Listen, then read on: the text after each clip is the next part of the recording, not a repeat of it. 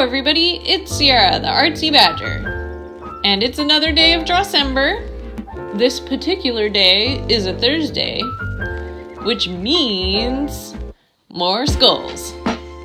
For today's skull specimen, we've got a tapir skull. I'm using my Scarlet Red Prismacolor Color Erase Pencil. And today, we're turning the sketchbook sideways. As I said in my previous video, I like to pick skulls that are kind of unique looking, and I definitely think a tapir skull qualifies as being pretty unique looking. This tapir in particular is the Malayan tapir, which is the largest of the five species of tapir and is the only one native to Asia. They are herbivorous mammals and they are very similarly shaped to a pig, but what makes them look so unique is the fact that they have this short prehensile nose trunk.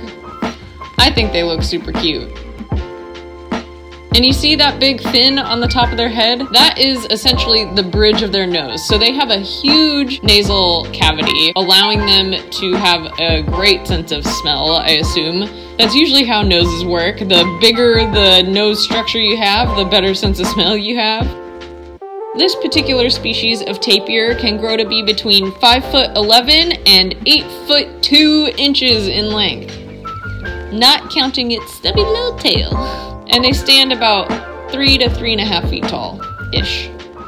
They're pretty heavy. They weigh between about 550 to 710 pounds. Some have been recorded to weigh up to like over a thousand pounds, which is crazy to me. For tapirs, females are usually larger than the males. Another unique thing about them is that they actually have four toes on their front feet. Their toes look really weird. They're like little four-pronged hooves.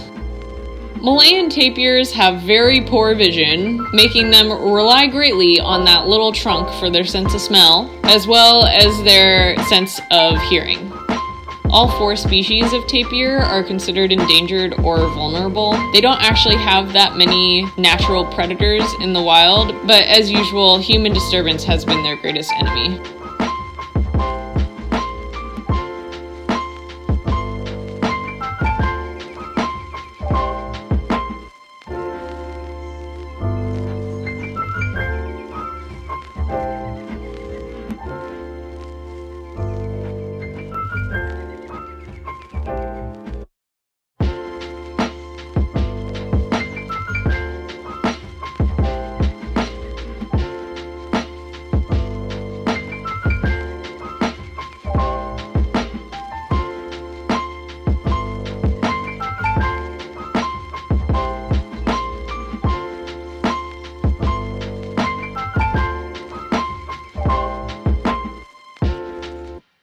Now that we've learned a little bit about the tapir, why don't we talk a little bit about the painting? So, as I mentioned last time, I really enjoyed working with gouache on that cassowary skull.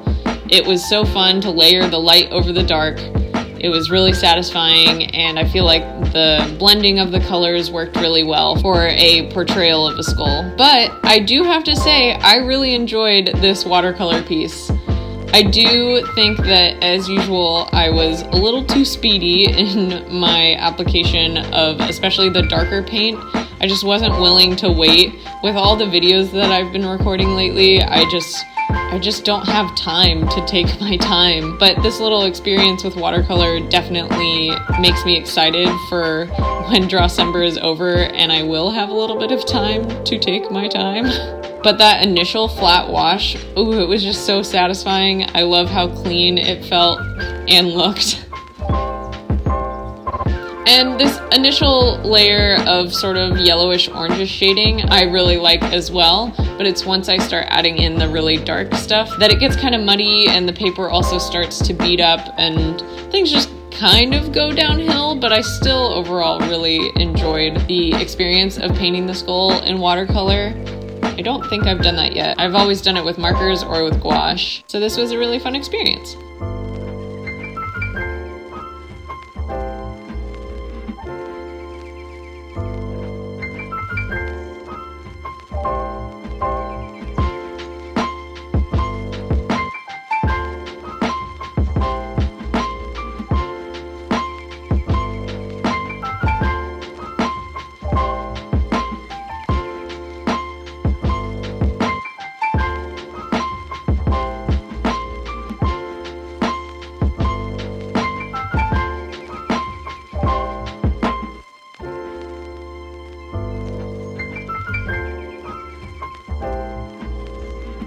That being said, I still am really enjoying Drawcember, but it is kind of weighing down on me. I am feeling a little less inspired, I guess.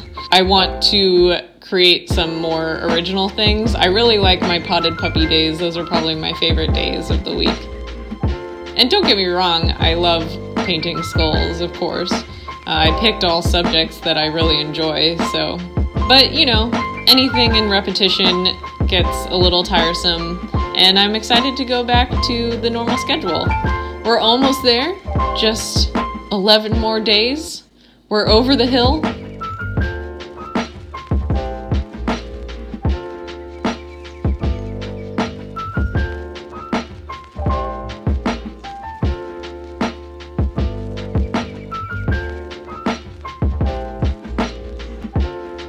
Anyway, that's all I have for you today. Thank you so much for watching, and I will see you guys tomorrow.